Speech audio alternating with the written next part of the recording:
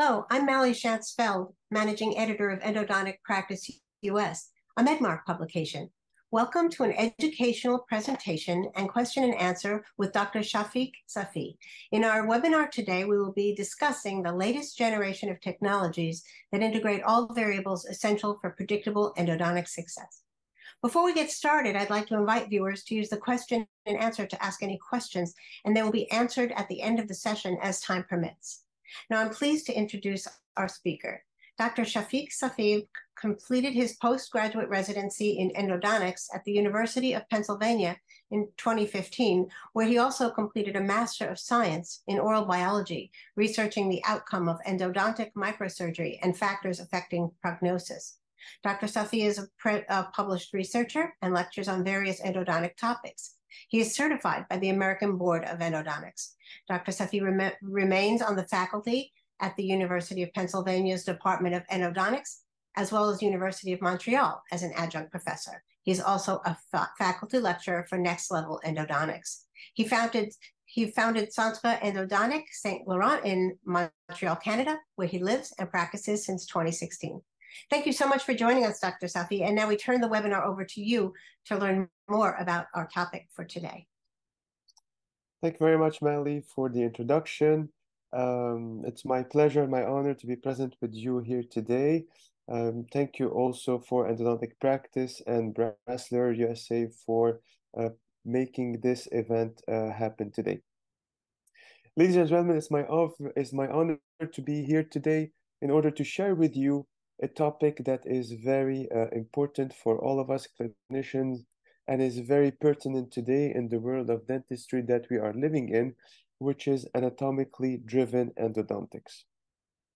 Like Mali said, my name is Chafic Safi, and at the end of the presentation, you'll have my contact information. Should you have additional questions that come after this presentation, I'll be more than happy to answer them via email. Before we jump and before we start to dig into anatomically driven endodontics, it's very important to start at something that is very important and very uh, basic to us, which is our goal in endodontics, our goal as endodontists or as general practitioner that are doing a root canal treatment.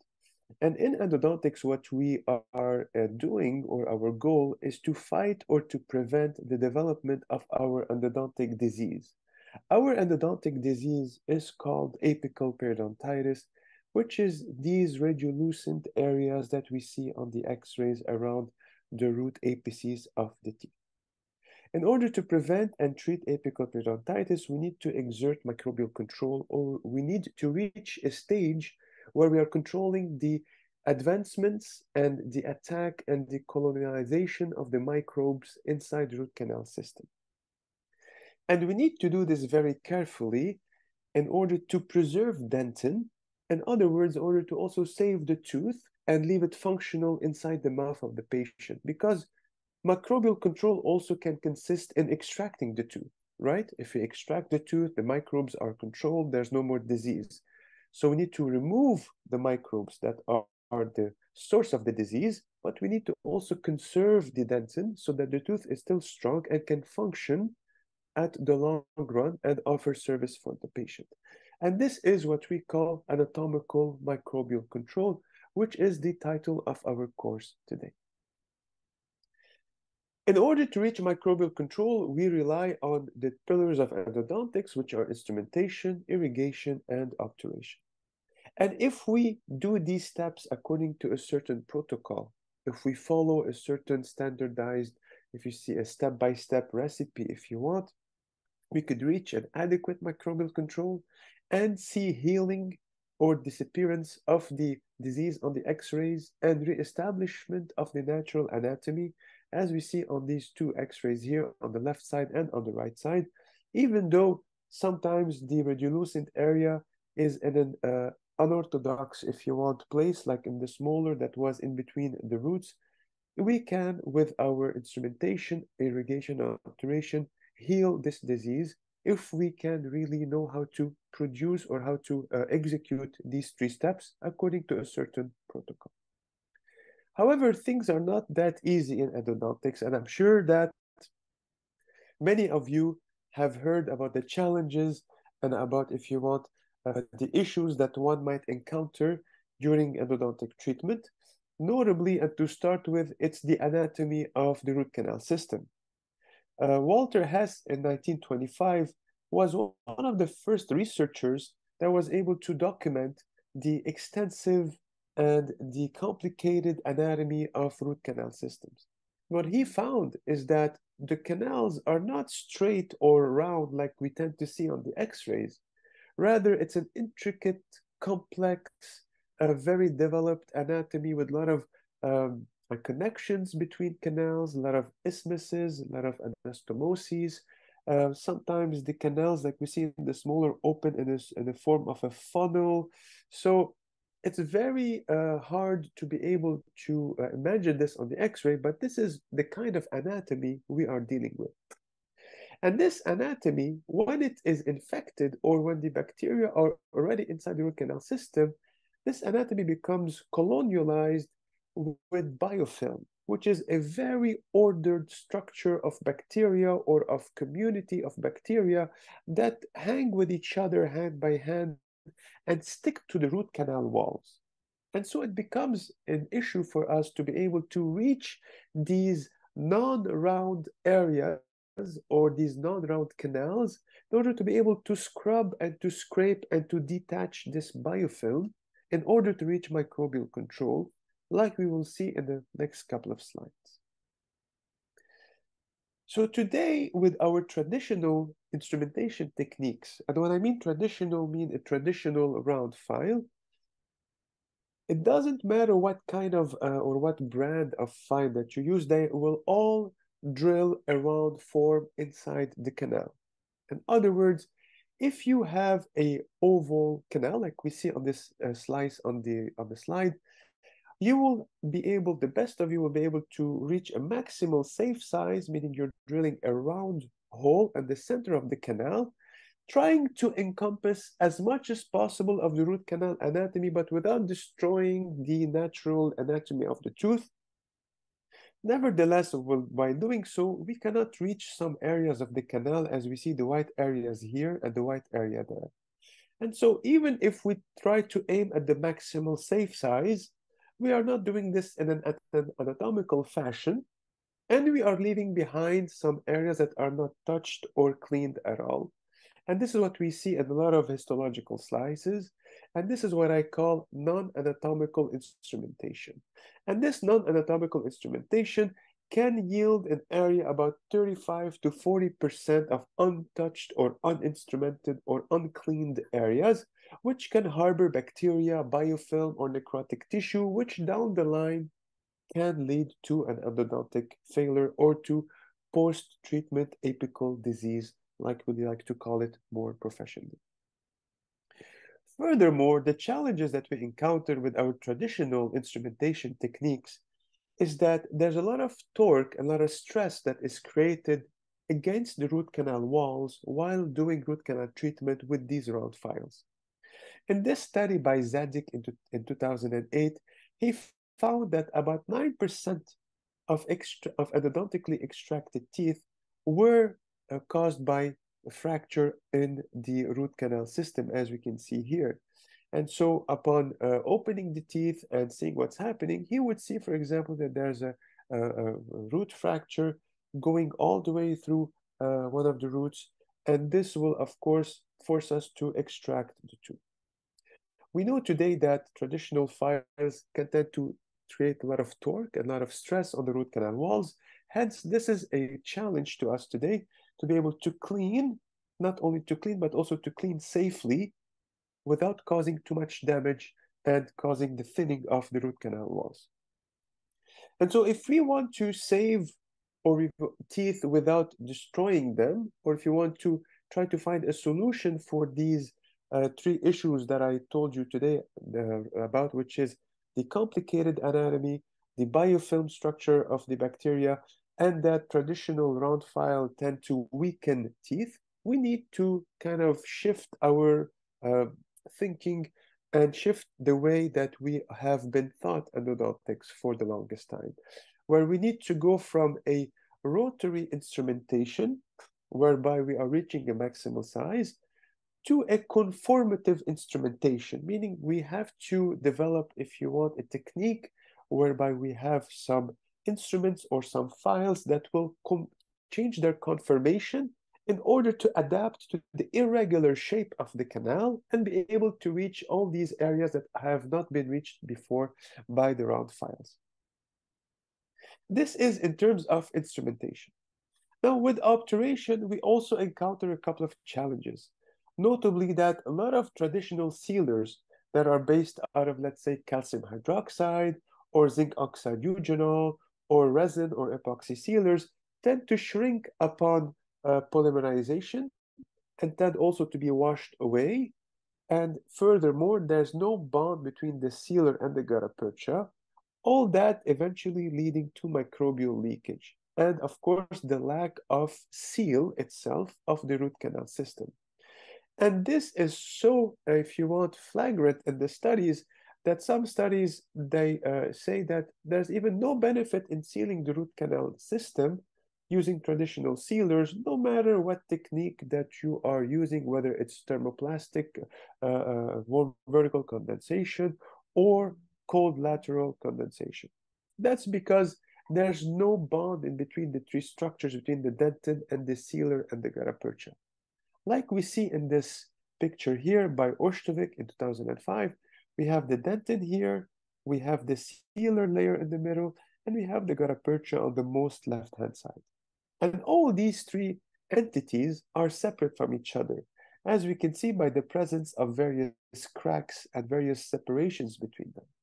And if we dig deeper, if we look more zoomed into this histological picture, what we can see is that we have the gutta percha on the left side, the sealer in the middle, and then the dentin here. And there's a big gap between the sealer and the dentin. There's no seal at all and even between the gutta percha and the sealer itself.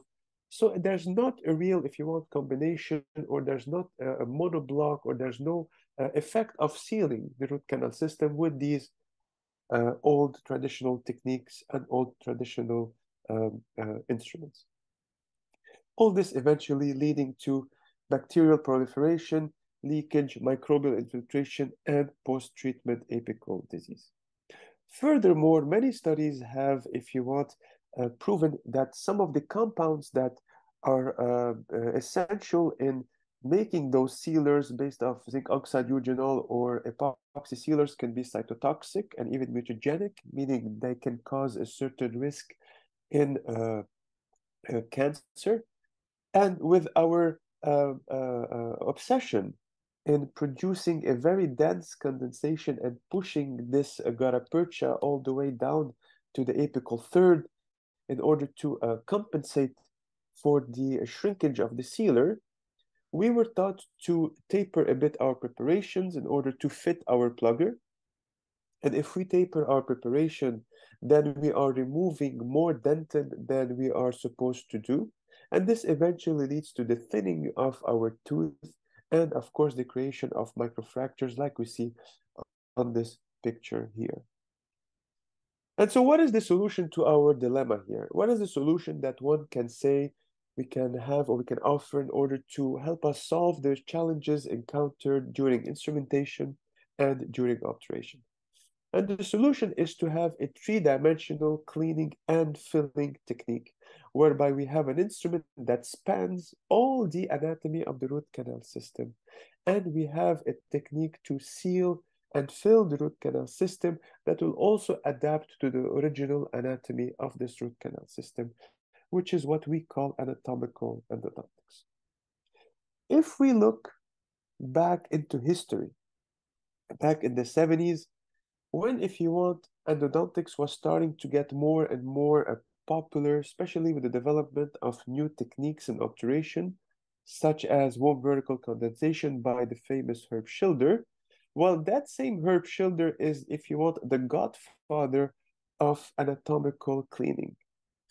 But he was so busy in developing uh, uh, uh warm vertical condensation that uh, his idea that he called the envelope of motion of a file got forgotten by himself, but we can still see some of the pictures of his uh, original work, whereby he describes how an, uh, an ideal file should work. And he says that the file should expand or the file should, if you want, uh, get a bit of, of, of, a volume inside the root canal system and adapt itself to the anatomy of the tooth rather than let, uh, let the, the tooth be adapted to the anatomy of the file. And this is in the 70s. And this idea, for some reason, got forgotten up until, if you want, the uh, early 2000s. Uh, in the early 2000s, 2005, I think, um, a lot of the ideas of a three-dimensional cleaning came back into the endodontic world. And if you take today a survey of 3D cleaning files, uh, we have the first, if you want, file system that appeared on the market, which is the self-adjusting file, which is the SAF. And we have the TRUShape, and we have the latest generation, which is the XP3D Shaper and the XP3D Finisher. And this is, if you want, what we will be talking mostly about during the remaining of our uh, discussion.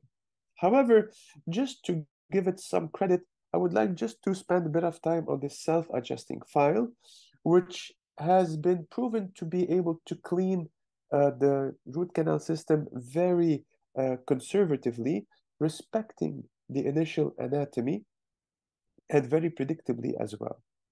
However, it was a bit complicated to use because it uh, came with a handpiece.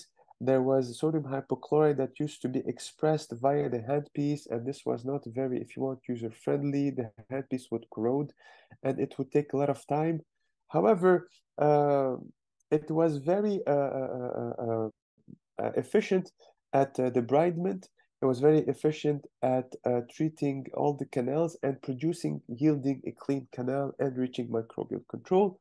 However, due to some uh, technicalities, it did not gain a lot of uh, uh popularity and is today uh, sadly is not used uh, in the market in our endodontic field. And in 2016, um, based on this uh, desire to uh, help us find a solution for non-anatomical instrumentation, uh, USA introduced the XP3D Shaper, which we see in the picture here on the left-hand side. As we can see, it has no conventional flutes. It's a snake-shaped wire. It's not a straight wire. At rest, the wire or the file is at a size 30 and at a taper of 1%. And the file is made of a special alloy called MaxWire, which infers or which gives the possibility to the file to adapt itself to the anatomy of the root canal system, which what we call adaptive core technology. And will be and this file will be able then to, if you want, uh, expand up to a certain size, which would be ideally a 3004, as we can see on this slide here. And this is based on the changes and the conformation of the NiTi crystalline structure. This MaxWire alloy was able to shift from the M phase at room temperature to the A phase at body or at the tooth temperature, which is at 35 degrees. And it's this memorized shape at the A phase that was able to expand inside the root canal system and go and clean all the surroundings and all the intricacies and the irregular shapes and forms that are not reachable in any uh, safe limit with our traditional round file. If we look at how this file was engineered, uh, one can say or one can see that the tip here is uh, a number 30 at rest. The metal core is at 1%. And we can have an expansion of that core that could reach up to a 4% taper, which we will see according to what protocol we can clean, we can do this. And this offers a minimal invasive shaping and efficient cleaning. And the biggest advantage, if you want, is that this file, thanks to its MaxWire alloy, can adapt itself to the original shape of the canal. And by doing so, can reach all the areas that are not reachable otherwise. Of course, if there is space for it to expand. If a canal is not as wide as another canal, this file is not going to expand if there's no room for it to expand. In other words, it will really respect the original anatomy of the canal. Now, with time, there was a new generation of XP3D Shaper that got introduced into the market as of this year called the XP3D Shaper Plus. And the XP3D Shaper Plus is different in terms of the alloy and, and it's always at a size 30 and a 4% taper. It does not need to shift from the uh, cold uh, room temperature phase to the uh, body temperature phase. And this is due to some technological advancements that uh, engineers have made that really help the clinician to avoid, if you want, the, uh, the, the, the, the worrisome or the cumbersomeness of having the file placed at body temperature for it to be able to expand. This XP3D Shaper Plus comes in uh, tandem or comes in union with another file, which is the XP3D Scout. And just like the XP3D Scout, just like the name says, this file is a scouting file that will allow us to create a certain path or glide path inside the canal before inserting our XP3D Shaper Plus with the same goal in mind, which is to uh, clean or instrument the canal while respecting the original anatomy and yielding a cleaner or producing a cleaner canal. This file, the XP3D Scout, is a 1504 file. It's a heat treated, so it has 47% uh, uh, more uh, resistance to fracture. It is a mechanical glide path to 1504, prevents the XP from deformation, and can be used at 1000 RPM and 1 Newton centimeter, which is are the same parameters that we are going to use with our XP 3D Shaper Plus. So this is the new sequence, if you want, that will allow us to obtain anatomical instrumentation. One very important uh, uh, uh, aspect of the Shaper Plus is the tip of this, uh, of this file, which has six cutting edges and six cutting facets, and this expedites or makes instrumentation much faster. Also, it starts to cut at 0.12 millimeter of a diameter and could reach 0.3 millimeter in just 0.6 millimeters of work. In such a way that we can say that it's a one-step instrumentation to go from the initial diameter of the file before we touch it to reach a size ISO 30 thanks to this expeditive tip that the XP3D Shaper Plus has. Another advantage of the XP3D Shaper Plus is that unlike traditional files like we see here on the left-hand side, where these files will tend to really push the debris against the root canal wall and plug all the dentinal tubules and plug all the isthmuses, the XP3D Shaper Plus, since has it has no core, will never be able to produce a lot of torque, a lot of stress, and thus a lot of pressure and pushing and condensing the debris against the root canal walls. Rather, it keeps the debris in suspension and it agitates actually this fluid that's inside the root canal system, which is, for example, your sodium hypochlorite, in order to favor the elimination and to agitate it a bit and to expel all these debris with your irrigation when you're irrigating with your needle inside the canal. And this is clearly seen in some works by Gustavo De-Deus, who is a great uh, researcher and clinician in Brazil.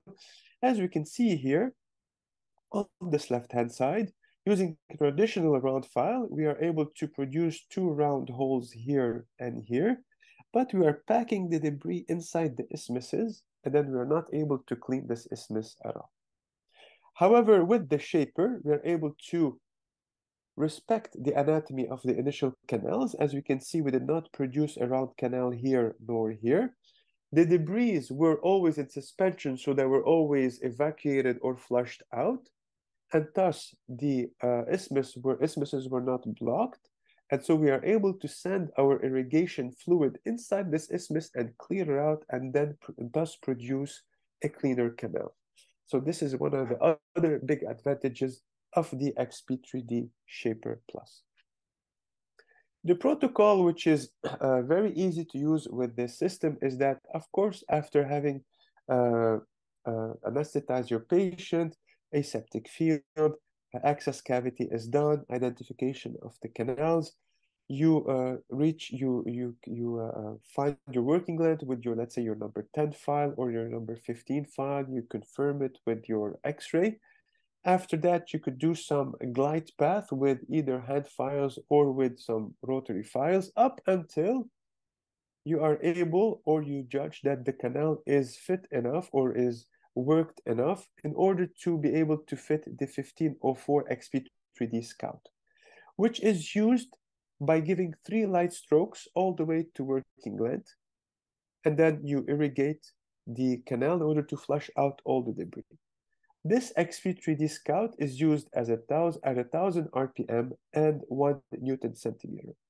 And these are the same parameters with which we will use the XP3D Shaper Plus. So once the 1504 has reached working length and you've given it three light strokes, you irrigate, then you take the XP3D Shaper Plus, you will give it one to three long strokes up until it reaches working length.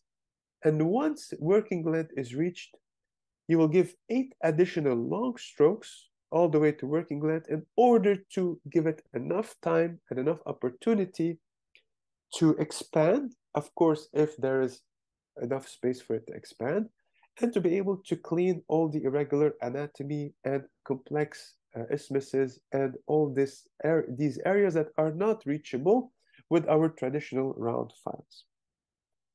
And the XP3D Shaper Plus can be used up to eight canals. All you have to do, of course, is to count how many canals you've used each time.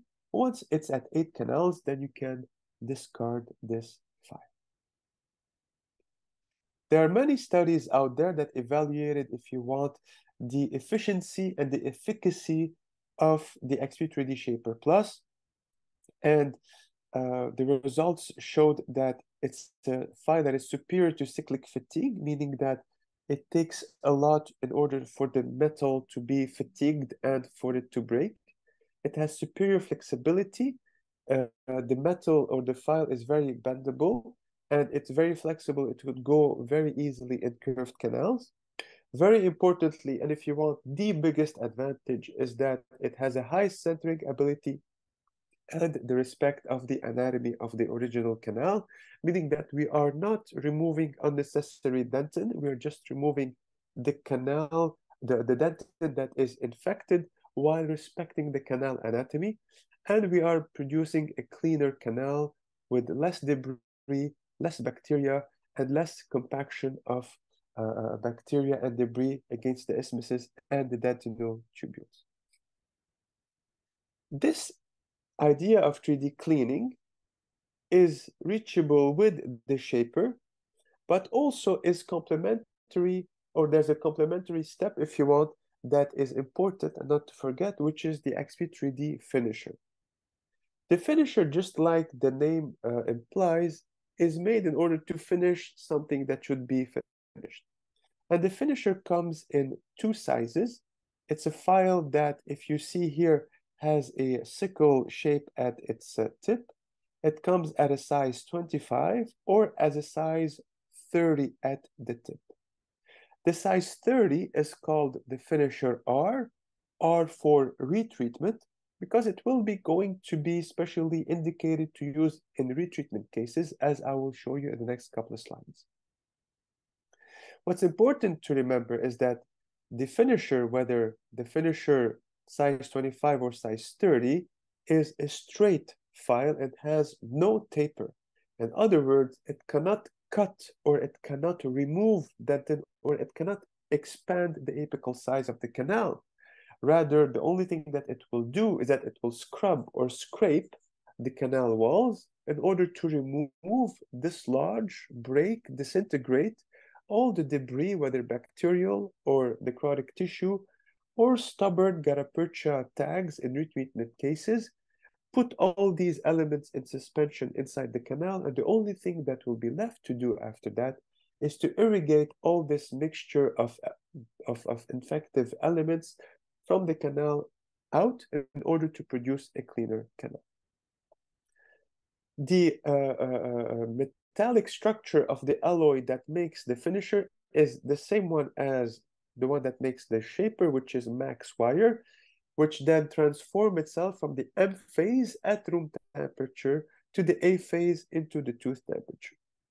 There is no finisher plus. In other words, just like I told you that the shaper plus is always in the A phase. However, the finisher has to do this transformation once it goes inside the tooth. There's a raise in temperature from, let's say, 20 or 25 Celsius at room temperature to about 35 degrees Celsius inside the canal, which then confers the ability of this finisher to expand and to act as a whip or to act as a scrubber or as a scraper in order to clean all the remaining elements that are still stubbornly stuck against the root canal system. If you look at these uh, collection of pictures by Dr. Carvalho, based in Brazil, this is a, a central incisor that is sliced and we're looking at it and we can see the buccal palatal direction very easily. On the first picture here on the left-hand side, we have a traditional round file. And as we can see, the canal is very wide. And this file is not touching most of the uh, root canal walls. And so if you have, let's say, gutta-percha tags left against these walls, if it was a retreatment, or maybe you have just biofilm, it's just an, an, an initial root canal treatment, you're going to leave behind a large portion of the tooth untouched. The finisher acts in two ways. It has two active parts, or two, if you want, uh, important uh, uh, parts that can clean. The first one is the tip of the canal, which is this thing here. When the body of the file goes, let's say, into a small narrow part, which is in this case the orifice of the canal, we can see that it's the tip of the file here that will be able to scrub against the root canal wall. So if you're giving it strokes up and down, you are spreading the action of the tip against all the root canal walls. When the tip of the file goes through a small, let's say, a tight uh, space inside the root canal system, it's the body of the file that will be able to uh, expand and act as a scrubber in order to expand against the root canal walls and scrape and scrub all the root canal system. And so by giving strokes up and down, you are spreading this action of tip, body, tip, body, tip, body of the file, scrubbing and scraping and removing the debris in order to produce a cleaner canal. Studies have been done in order to evaluate the efficiency of the cleaning of the XP3D finisher compared to passive ultrasonic irrigation and traditional needle irrigation, and it was shown that the finisher provided significantly better anti-biofilm cleaning, as well as we have a bacterial reduction in the main canal that is superior than the standard needle, the endoactivator, or the uh, uh, PIPS uh, uh, instrument, as well as more efficiency in cleaning bacteria in the dentinal tubules. So in other words, we're able to clean the canal, kill the bacteria, yield a cleaner canal, meaning reach microbial control, while preserving the natural anatomy of what was done before, because this file, the XP3D finisher, cannot remove dentin, cannot make the, the canal bigger. And so let's say after the XP3D Shaper Plus, the Shaper Plus has respected the initial anatomy of the canal. The finisher will come and just, if you want, polish the inside in order to yield a cleaner canal. When is this finisher indicated to be used? It's indicated to be used in four scenarios or in four circumstances. The first one is, let's say for some reason you are still very uh, uh, uh, uh stuck or you are still very keen with your to be to be using your traditional round files after finishing your traditional round file instrumentation, you should employ some XP3D finisher action inside the canals in order to really spread its action against all the intricacies and yield a cleaner canal. After the XP3D shaper, of course, there's always, always room to get a cleaner canal.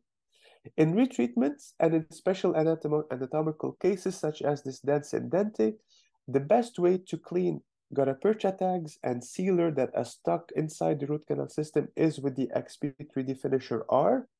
And in this case, like we see here, this uh, X-ray is courtesy of Dr. Uh, who I proud myself to have known him during my residency at UPenn and be uh, one of his co-residents.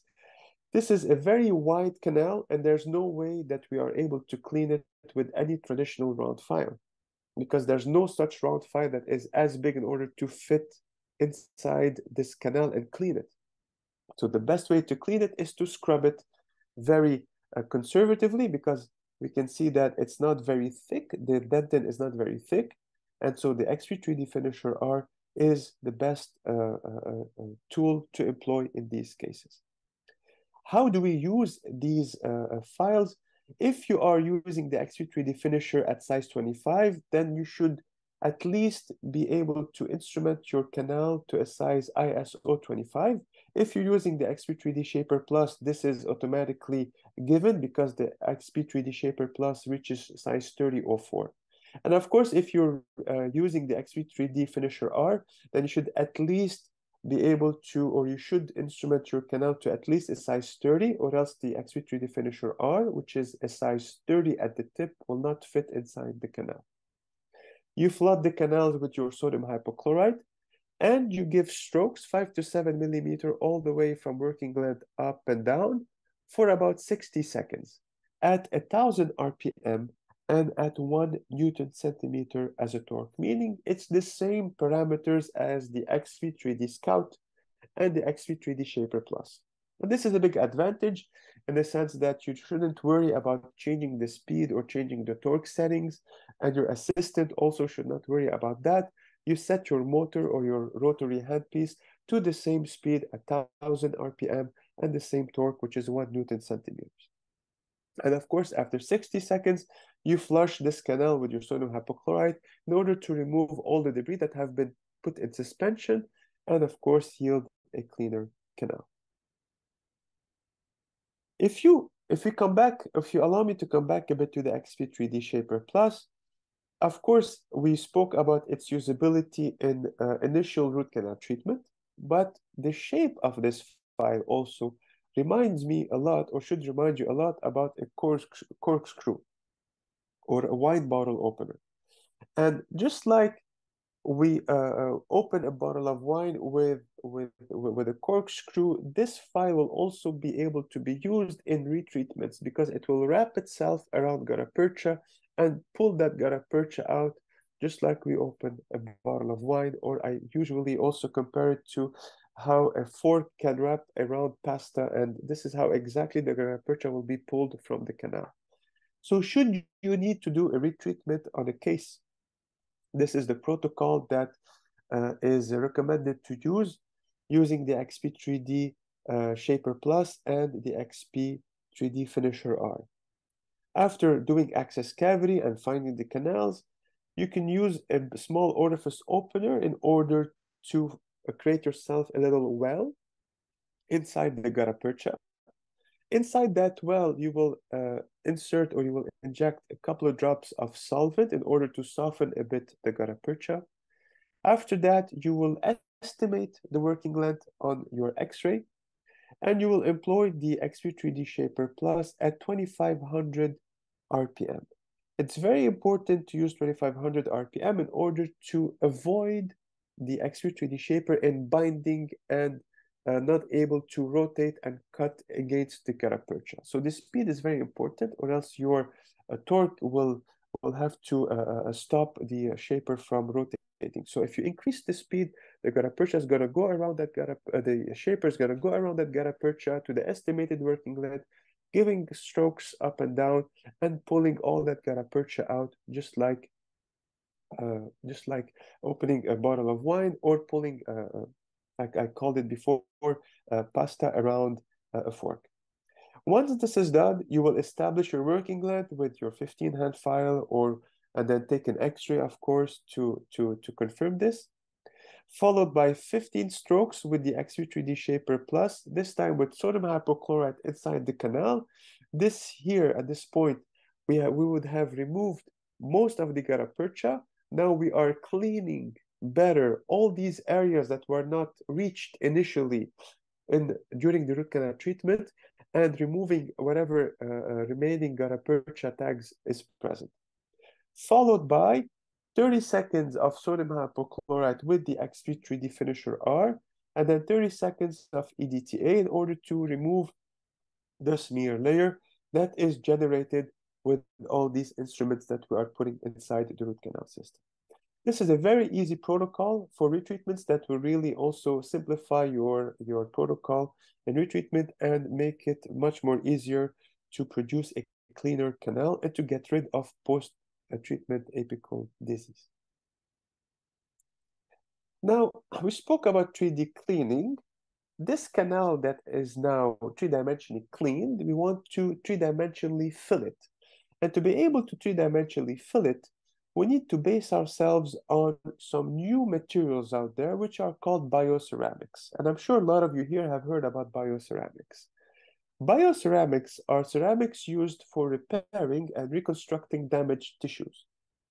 In our case in endodontics, the damaged tissues are the periapical uh, tissues, meaning that if you have a periapical lesion, the PDL and the bone that was destroyed, you want to be able to repair it and reconstruct it when you do a root canal treatment.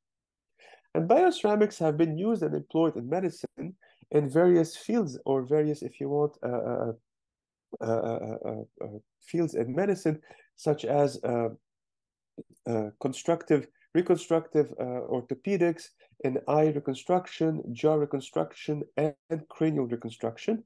And recently it was introduced in dentistry.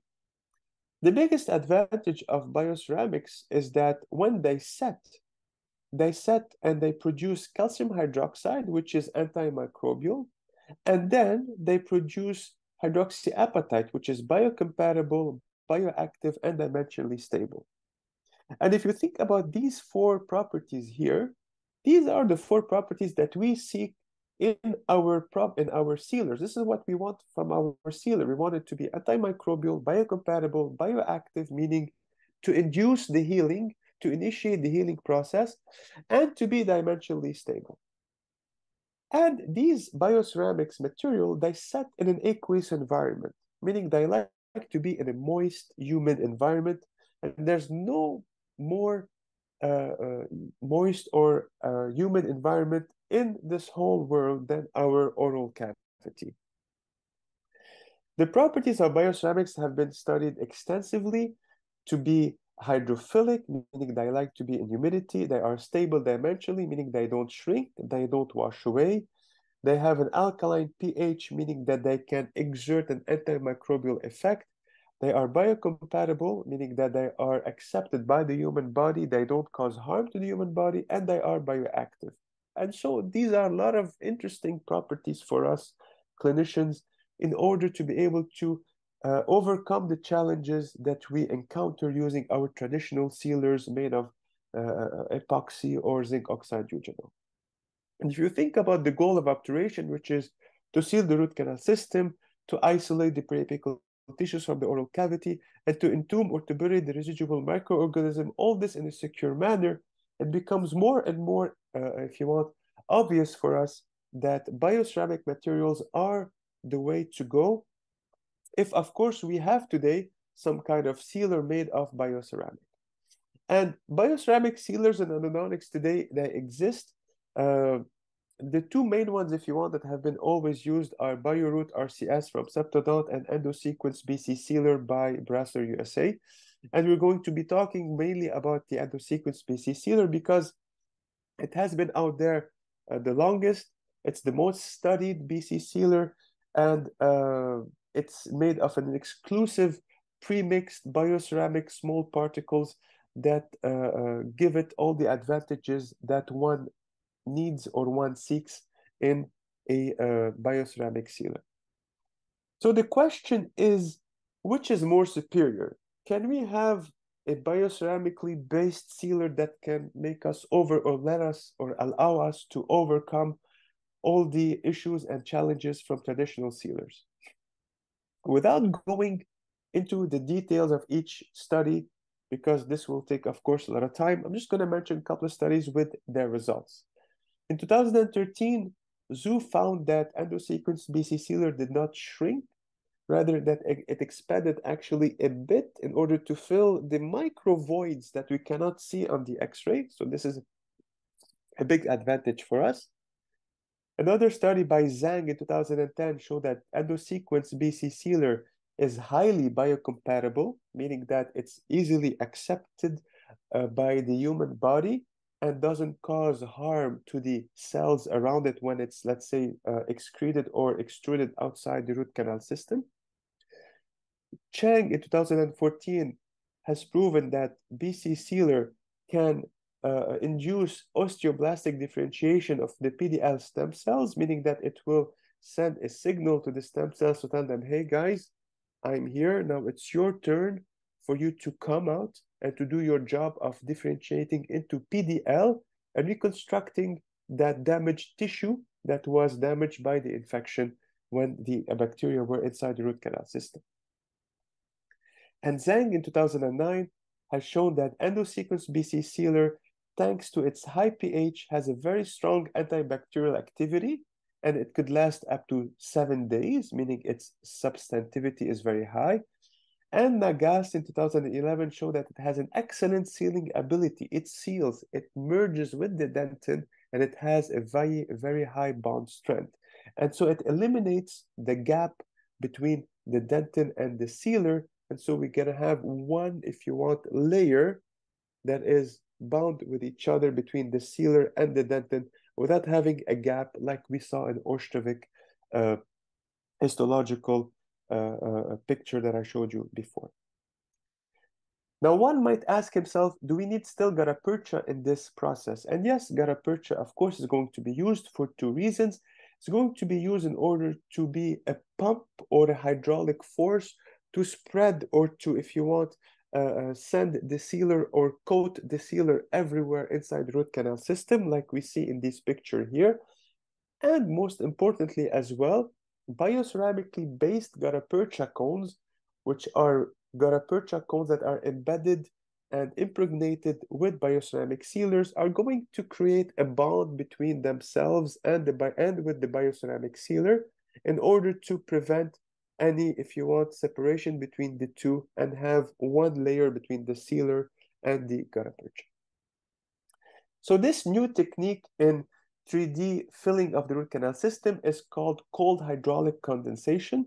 As we can see here in this series of picture, after uh, adapting your cone inside the canal, you inject a little aliquot of the BC sealer. So this is another advantage in terms that it is easily injectable, ready to use.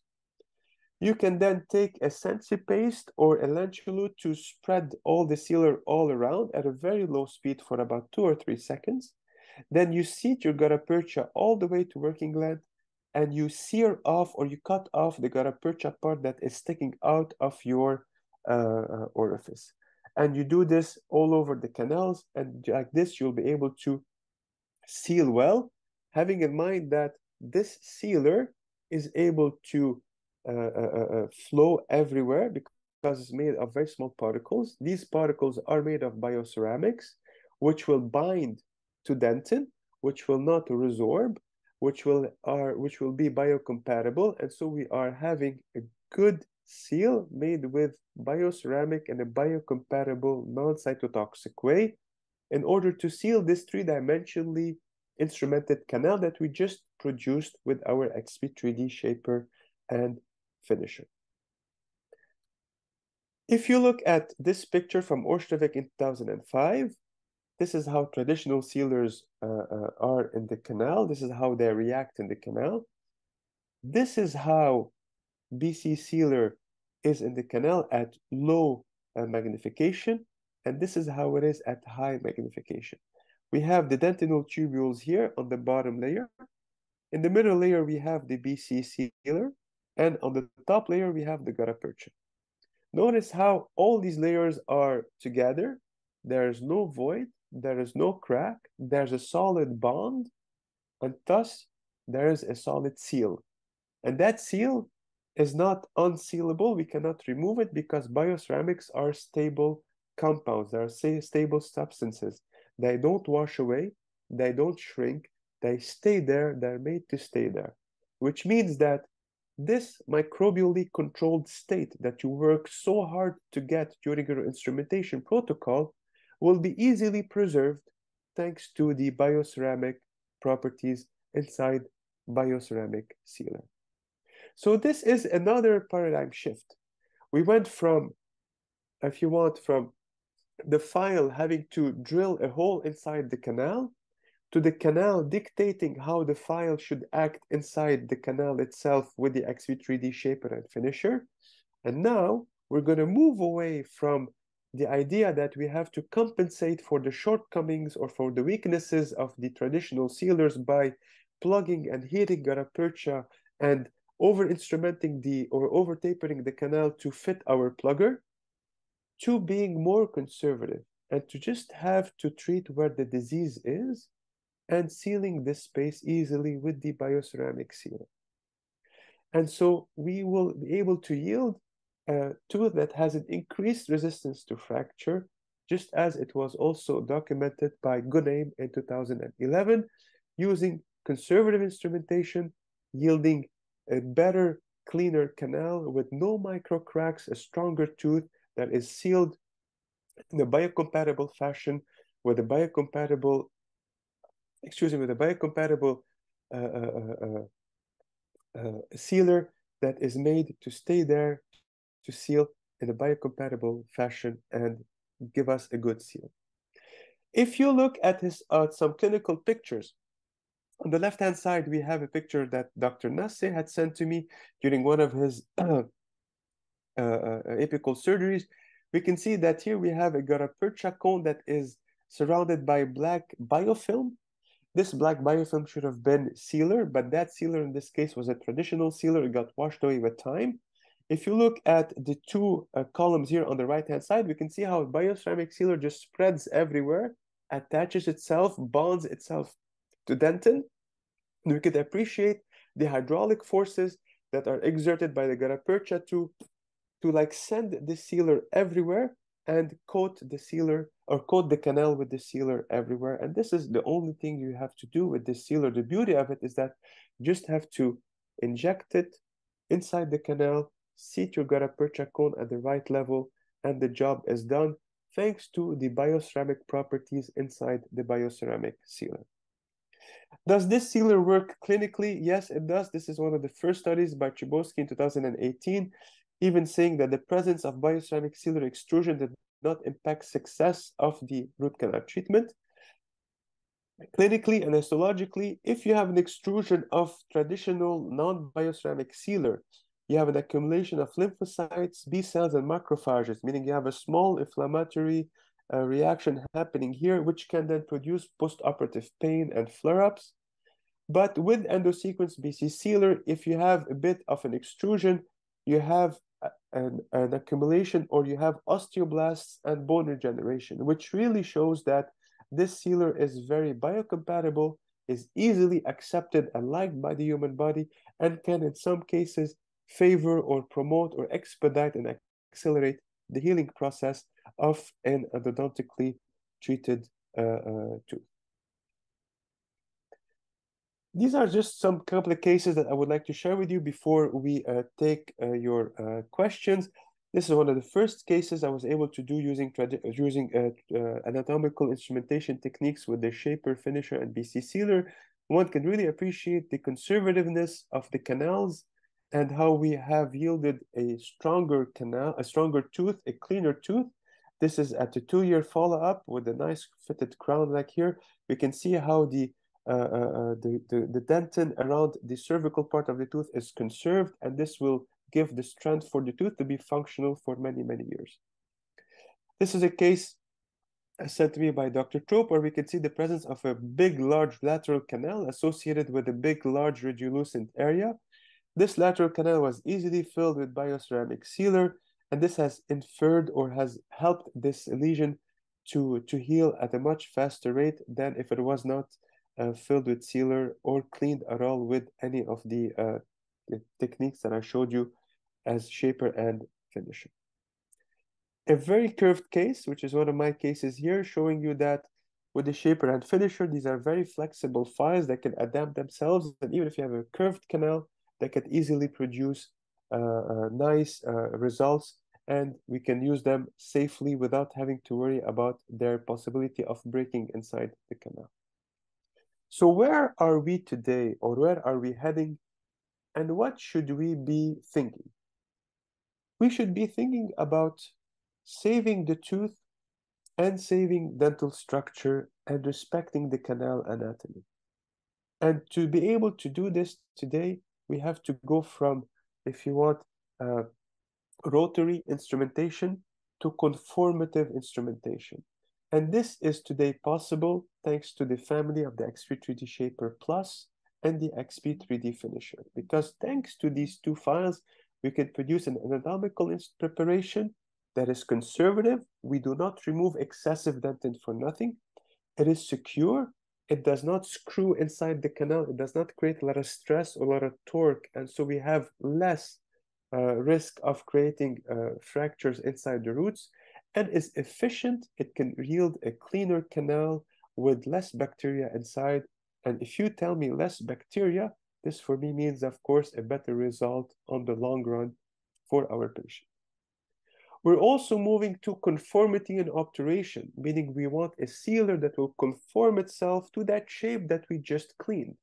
A sealer that will not shrink, will be dimensionally stable, biocompatible, and where we can rely on the sealer itself to be able to produce a long-lasting effect, with the gutta being a piston or a pump to spread the action of the sealer everywhere.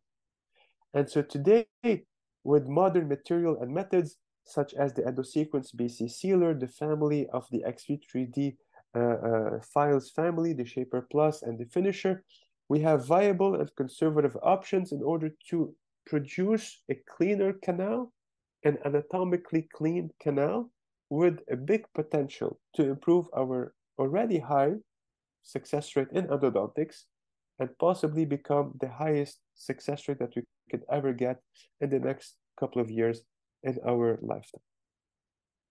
With that being said, I would just like to say thank you to the uh, uh, uh, professors and the faculty and the clinicians that have uh, taught me during my three years at Penn, notably Dr. Kim, Dr. Karabucak, Dr. Trope, Dr. Uh, Joe, Dr. Kratchman, Kohli, and Setzer, that thanks to them, I became today the endodontist that I am and the lecturer that I am. And of course, once again, thank you everybody for attending this lecture today. Thank you for endodontic practice and thank you for Brasseler USA for uh, uh, uh, making this event happen. If you have any questions, you can email me at any time at shafiq.endo at gmail.com. If you'd like to follow my page on Instagram, it's Endo Saint Laurent, where I share a lot of cases, tips, and tricks about endodontics. Thank you all very much. I wish you all a very pleasant day. Thank you so much, Dr. Safi. That was really interesting. We do have um, some questions, but Thank before you, I get to those, I would like to invite viewers to use the question and answer feature in the control panel on your screen to ask any questions that you have. Our first question um, is how many cases can be done using the XP Shaper Plus? Uh, so uh, the, the, the XP Shaper Plus can be used up to eight canals. So if let's say you have a tooth that has four canals, you can take that shaper, mark on it four canals, re-sterilize it, and use it again up to eight canals. Okay, well, uh, do we have to adjust working length on the Shaper Plus string instrumentation? And what about the finisher? So this is a very important question. Um, the working length that you determine, whether with your uh, uh, apex locator or radiographically, is the same working length that you'll be using on your uh, shaper and on your finisher.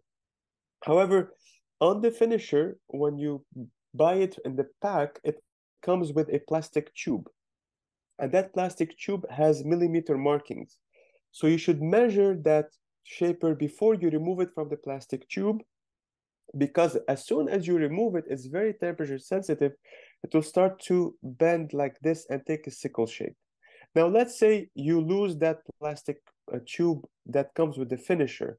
If you lose it, then you can measure the working length on the finisher, but you have to retract one millimeter from the working length that you've determined. So if your working length is 19, for example, you use either 19 millimeters with the plastic tube around the finisher, or you use 18 millimeters and you measure it on your ruler.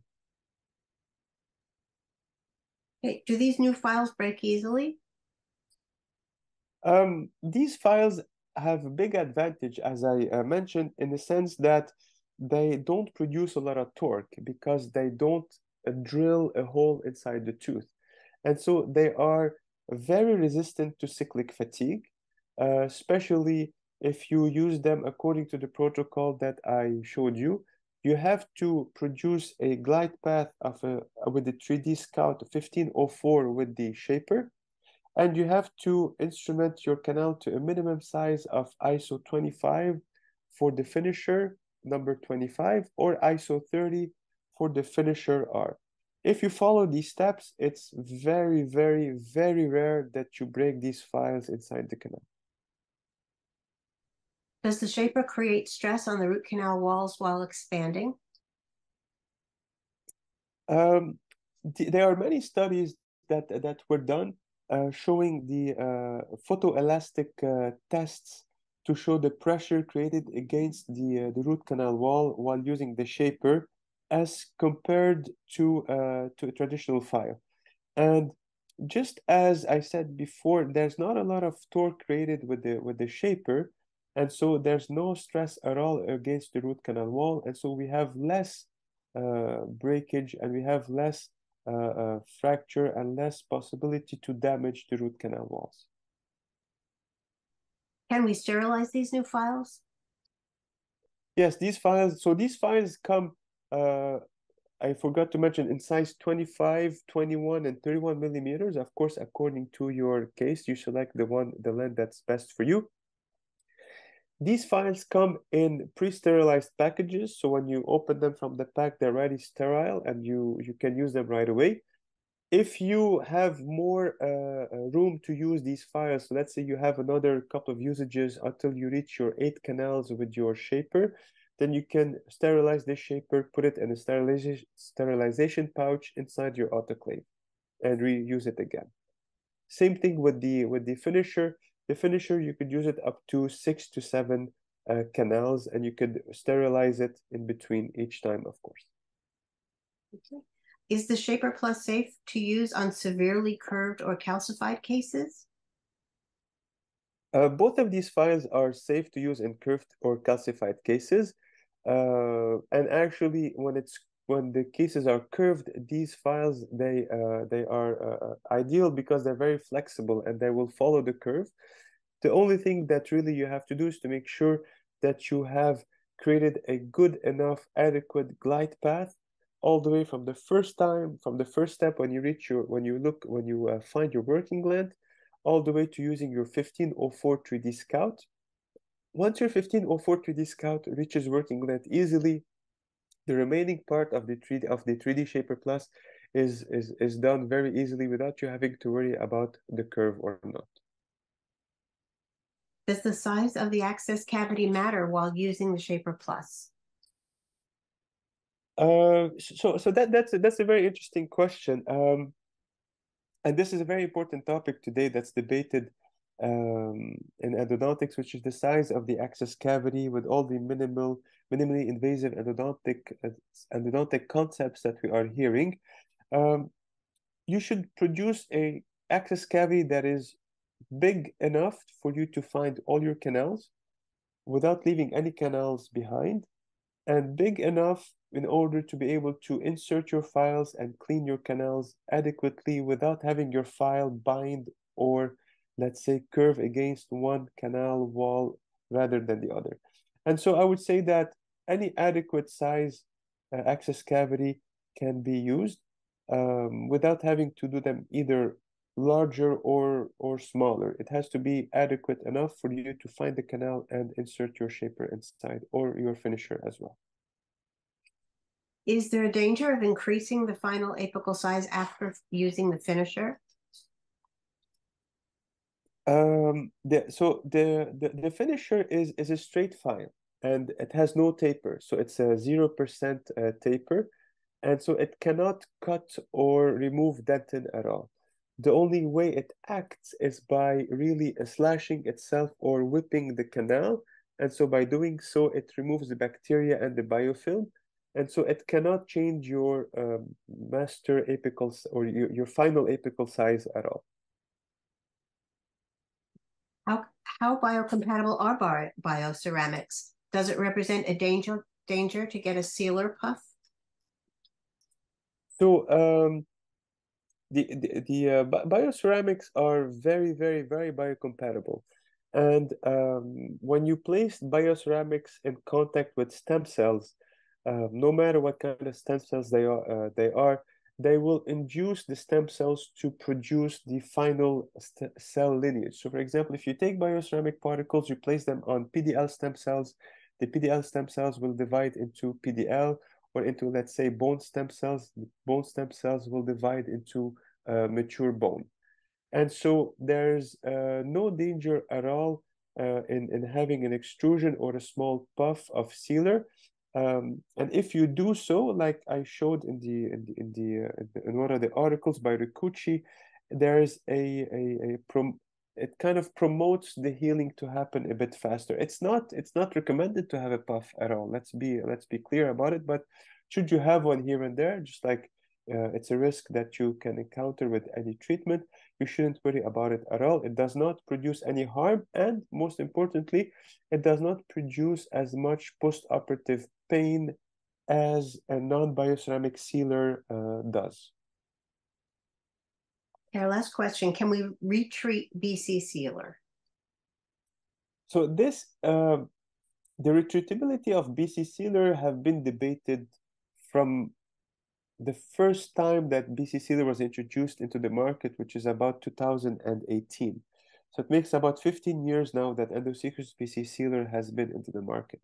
And all the opponents of that sealer were always saying, oh, you cannot retreat it. And the uh, the concept of retreatment should be uh, should not be confused with having to retreat it or being able to retreat.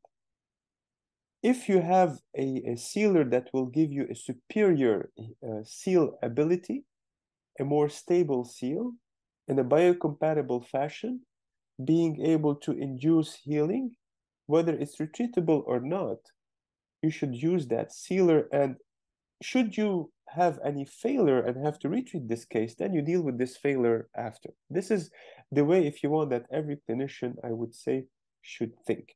Um, now, a lot of studies have shown that BC sealer is retreatable, whether in terms of working length or whether in terms of removing the BC sealer against the root canal wall. It is an easily retreatable uh, uh, uh, uh sealer without having any difficulty and I think there was a recent study uh, that appeared at the beginning of this year in 2023, saying that it's as easily retreatable as any other conventional um, uh, sealer. So that should not be uh, any uh, worry or any, if you want, uh, uh, a problem to, in order to adapt this sealer and to use it into your clinic. Well, thank you everybody for your questions, but we've run out of time today. If we did not get to your question, we will answer it after the webinar via email. Within one hour, all registrants will be emailed a link to the replay and continuing education quiz to complete for the certificate. Thank you all again for attending and a special thank you to Dr. Chafic Safi and our sponsor for this webinar, Brasseler USA. Thank you and take care out there. Thank you, everybody.